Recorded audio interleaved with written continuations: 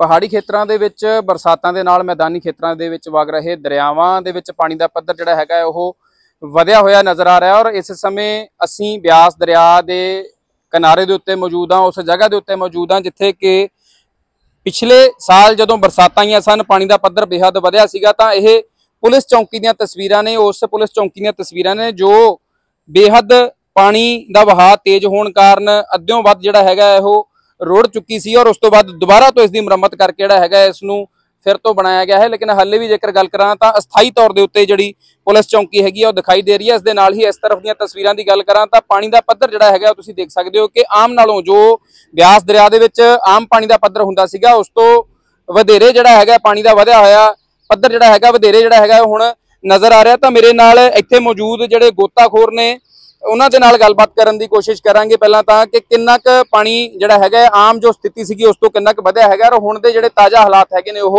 ਕਿਸ ਤਰ੍ਹਾਂ ਦੇ ਹੈਗੇ ਨੇ? ਕੀ ਨਾਮ ਹੈ ਤੁਹਾਡਾ? ਮੰਨੂ ਲਾਲ ਜੀ। ਮੰਨੂ ਲਾਲ। ਮਤਲਬ ਕੀ ਕੰਮ ਕਰਦੇ ਹੋ ਇੱਥੇ? ਗੋਤਾਖੋਰੀ ਕਿੰਨੇ ਚਿਰ ਤੋਂ ਕਰ ਰਹੇ ਹੋ? ਔਰ ਕਿਸ ਤਰ੍ਹਾਂ ਦਾ ਪਾਣੀ ਦਾ ਜਿਹੜਾ ਹੈਗਾ ਪੱਧਰ ਤੁਹਾਨੂੰ ਦਿਖਾਈ ਦੇ ਰਿਹਾ? ਹੁਣ ਕਿ ਕਿੰਨਾ ਕੁ ਆਮ ਜਿਹੜਾ ਸੀਗਾ ਉਹ ਉਹਨਾਂ ਹੀ ਚੱਲ ਰਿਹਾ ਜਾਂ ਉਸ ਤੋਂ ਤੁਹਾਨੂੰ ਵਾਧਾ ਦਿਖ ਰਿਹਾ ਹੈ ਵੱਧ ਹੋ ਗਿਆ ਹੈ ਜੀ। 5 ਫੁੱਟ ਪਾਣੀ ਵੱਧ ਹੋ ਗਿਆ। ਵੱਧ ਹੋ ਗਿਆ। ਹੁਣ ਵਧੂਗਾ ਪਾਣੀ ਆ ਮੀਂਹ ਪਊਗਾ ਫਿਰ ਔਰ बढ़ूगा ਪਾਣੀ ਘੱਟੋ ਘੱਟ बढ़ना है 6-7 ਫੁੱਟ ਔਰ 6-7 ਫੁੱਟ 6-7 ਫੁੱਟ ਹੋਰ ਉੱਪਰ ਜਾਓ ਉੱਪਰ ਜਾਊਗਾ ਅੱਜ ਕਿੰਨੇ ਕ ਦਿਨਾਂ ਤੋਂ ਤੁਹਾਨੂੰ ਲੱਗਦਾ ਪਿਆ ਕਿ ਪਾਣੀ ਵਧ ਰਿਹਾ ਜਿਵੇਂ ਕਿ ਆਮ ਜੋ ਪਾਣੀ ਚੱਲਦਾ ਸੀਗਾ ਹੁਣ ਜਿਹੜੀ ਸਥਿਤੀ ਹੈਗੀ ਆ ਕਿਤੇ ਨਾ ਕਿਤੇ ਜਿਹੜਾ ਬਰੇਤਾ ਸੀਗਾ ਉਹ ਦਿਖਾਈ ਦਿੰਦਾ ਸੀਗਾ ਲੇਕਿਨ ਹੁਣ ਪੂਰਨ ਤੌਰ ਦੇ ਉੱਤੇ ਵਹਾਅ ਵੀ ਤੇਜ਼ ਦਿਖਾਈ ਦੇ ਰਿਹਾ ਉਸ ਦੇ ਨਾਲ ਪਾਣੀ ਦਾ ਪੱਧਰ ਵੀ ਜਿਹੜਾ ਹੈਗਾ ਉਹ ਵਧਿਆ ਹੋਇਆ ਦਿਖਾਈ ਦੇ ਰਿਹਾ ਹੈ ਇਹ ਕਿਸ ਦਿਨ ਤੋਂ ਤੁਹਾਨੂੰ ਲੱਗ ਰਿਹਾ ਕਿ ਵਾਧਾ ਹੋਇਆ ਇਹਦੇ 'ਚ ਹਾਂਜੀ ਦੋ ਕੁ ਹਫ਼ਤੇ ਹੋ ਗਏ ਦੋ ਕੁ ਹਫ਼ਤੇ ਹੋ ਗਏ ਵਧਿਆ ਹੋਇਆ ਹਾਂ ਵੱਧ ਘਟ ਰਿਹਾ ਵਾ ਅੱਜ ਫੇਰ ਵੱਧ ਗਏ 4 ਫੁੱਟ ਬਰਸਾਤਾਂ ਦੇ ਨਾਲ ਜਿਹੜਾ ਹੈਗਾ ਕਿਤੇ ਨਾ ਕਿਤੇ ਜਿਹੜਾ ਹੈਗਾ ਇੱਥੇ ਫਰਕ ਪੈਂਦਾ ਪਿਆ ਹੈ, ਪਾਣੀ ਵੱਧਦਾ ਪਿਆ ਹਾਂ ਵੱਧਦਾ ਹੀ ਪਿਆ ਕੀ ਕੀ ਜਿਹੜੇ ਅ, ਤੁਹਾਡੇ ਕੋਲੇ ਇੱਥੇ ਅ, ਕਹਿ ਲਓ ਕਿ ਸਹੂਲਤ ਨੂੰ ਲੈ ਕੇ ਜਿਵੇਂ ਕਿ ਲਾਈਫ ਜੈਕਟਸ ਆ ਹੋਰ ਕਿਹੜੀਆਂ ਕਿਹੜੀਆਂ ਸਹੂਲਤਾਂ ਤੁਹਾਡੇ ਕੋਲ ਇੱਥੇ ਹੈਗੀਆਂ अपने को तो मतलब यही सिलेंडर सिलेंडर सारा कुछ है पर और कोई सरकार ਦਿੰਦਾ ਨਹੀਂ ਮਤਲਬ ਬੰਦੇ ਨੂੰ ਬਚਾਉਣ ਜਾਈਏ ਤਾਂ ਕੁਝ ਤੈਨਾ ਤੁਨਾ ਚਾਹੀਦਾ। ਹੈ।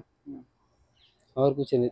ਕਿਹੜੀਆਂ ਚੀਜ਼ਾਂ ਦੀ ਜ਼ਰੂਰਤ ਹੈਗੀ ਆ ਜਿਹੜੀ ਤੁਹਾਡੇ ਕੋਲੇ ਇੱਥੇ ਨਹੀਂ ਹੈਗੀਆਂ ਇਸ ਸਮੇਂ? ਕਿਉਂਕਿ ਅ, ਪਿਛਲੀ ਵਾਰ ਵੀ ਜਦੋਂ ਪਾਣੀ ਦਾ ਪੱਧਰ ਵਧਿਆ ਸੀਗਾ ਤਾਂ ਤਕਰੀਬਨ ਪਾਣੀ ਜਿਹੜਾ ਹੈਗਾ ਇਸ ਬੇਸ ਤੋਂ ਵੀ ਉੱਚਾ ਜਾ ਚੁੱਕਾ ਸੀਗਾ। ਤਾਂ ਉਦੋਂ ਵੀ ਕਈ ਤਰ੍ਹਾਂ ਦੀਆਂ ਸਮੱਸਿਆਵਾਂ ਜਾਂ ਗੋਤਾਖੋਰਾਂ ਦੇ ਕੋਲ ਵੀ ਪ੍ਰੋਪਰ ਸਮਾਨ ਨੂੰ ਲੈ ਕੇ ਜਿਹੜਾ ਸਵਾਲ ਉੱਠੇ ਸੀਗੇ। ਤੇ ਹੁਣ ਕੀ ਕੁਝ ਹੈਗਾ ਤੁਹਾਡੇ ਕੋਲ? ਕੀ ਜ਼ਰੂਰਤ ਹੈ ਹੋਰ ਇੱਥੇ ਸਮਾਨ ਦੀ? ਜ਼ਰੂਰਤ ਆ ਉਹੀ ਆਪਾਂ ਨੂੰ ਮਤਲਬ ਸੇਫਟੀ ਵਾਲਾ ਉੱਪਰ ਉਹ ਉਹੀ ਲਿਆ ਦੇਵੇ ਉਹ ਤਾਂ ਸਿਲੰਡਰ ਦੇਵਾ ਦੇਵੇ।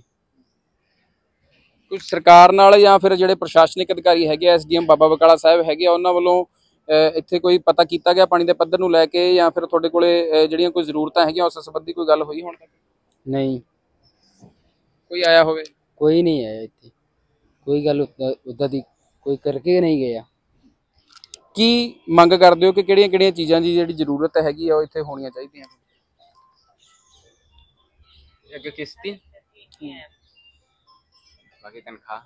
ਬਾਕੀ ਤਨਖਾਹ? ਆਪਾਂ ਨੂੰ ਚਾਹੀਦਾ 10-15000 ਹੋ ਜਾਵੇ ਤਾਂ ਵੀ ਆਪਾਂ ਗੁਜ਼ਾਰਾ ਕਰ ਲਵਾਂਗੇ।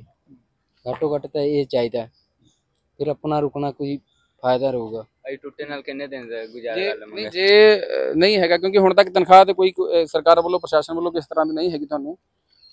ਕੁਝ ਨਹੀਂ ਹੈ। ਕੁਝ ਨਹੀਂ ਹੈ? ਕੁਝ ਨਹੀਂ ਹੈ। ਜੇ ਗੁਜ਼ਾਰਾ ਨਹੀਂ ਹੁੰਦਾ ਫਿਰ? ਗੁਜ਼ਾਰਾ ਨਹੀਂ ਹੋਊਗਾ ਆਪਾਂ ਨਿਕਲ ਜਾਵਾਂਗੇ ਆਪਾਂ। ਹੋਰ ਕੀ ਕਰਾਂਗੇ ਇੱਥੇ? ਕਿੰਨੇ ਲੋਕ ਤਾਇਨਾਤ ਰਹਿੰਦੇ ਤੁਸੀਂ ਇੱਥੇ ਜਿਹੜਾ ਦਰਿਆ ਦੇ ਉੱਤੇ? ਹੈਗੇ 10 12 ਬੰਦੇ। 10 12 ਬੰਦੇ ਰਹਿੰਦੇ ਆ ਇੱਥੇ ਹਮੇਸ਼ਾ। ਉਹਦਾ ਕੋਈ ਕੇਸ ਕੁਸ ਆ ਗਈ ਤਾਂ ਫਿਰ ਬੁਲਾ ਲੈਂਦੇ ਆ। ਕਿਸ ਤਰ੍ਹਾਂ ਦਾ ਕੇਸ ਮਤਲਬ ਜਿੱਦਾਂ ਬੋਡੀ ਬੋਡੀ ਲਵਣਾ ਹੋਵੇ ਕੋਈ ਛਾਲ ਛੂਲ ਮਾਰਿਆ ਹੋਵੇ ਤਾਂ ਫਿਰ ਆਪਾਂ ਬੁਲਾ ਲਈਦਾ ਫਲੋਰੋ ਬੰਦੇ ਬੁਲਾਈਦਾ ਲੱਭਦੇ ਪਤਾ ਨਹੀਂ ਕਿੰਨੇ ਕਿਲੋਮੀਟਰ 4 ਕਿਲੋ 5 ਕਿਲੋਮੀਟਰ ਲੱਭਦੇ ਆਪਾਂ।